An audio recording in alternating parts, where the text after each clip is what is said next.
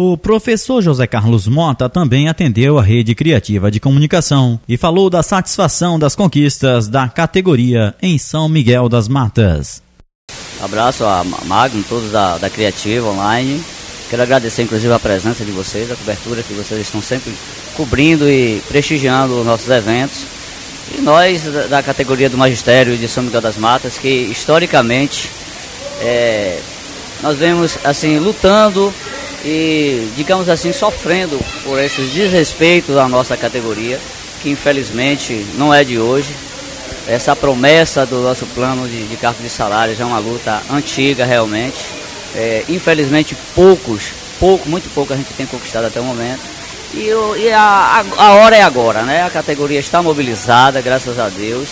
É, esse núcleo da PLB, que é pela primeira vez vale ressaltar, é um núcleo de São Miguel das Matas e está assim liderando é, a, a, categoria e, e, digamos assim muito bem, né? Então assim eu estou muito orgulhoso de, de, de presenciar, de estar presenciando esse momento. Então assim as expectativas são grandes de, por conta da mobilização da, da categoria e a gente conforme ficou aqui acordado em assembleia, nós vamos quarta-feira para a Câmara de, a Câmara de Vereadores e a gente espera que eh, nosso plano seja colocado em votação e que a gente possa sair de lá aliviados e pronto para continuar trabalhando. Olha, como foi colocado aqui pela, pelo próprio sindicato e também pelo nosso advogado, falo nosso advogado da PLB, é, o plano ainda está aquém do que a gente realmente necessita. Há muitas falhas. Mas como foi dito, é, no momento é mais importante que a gente aprove esse plano e no segundo momento a gente parte para lutar e conquistar o, o, o que está ainda, é, não está à altura da, do nosso trabalho enquanto profissionais do magistério. Aproveite para convocar todo o professorando quarta-feira, Câmara de Vereadores.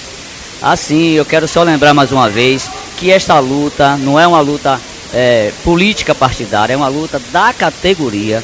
Né? Então, todos nós, professores efetivos do município de São Miguel das Matas, precisamos estar lá para reivindicar esse direito. Né? A hora não adianta mais deixar para amanhã. O momento é este.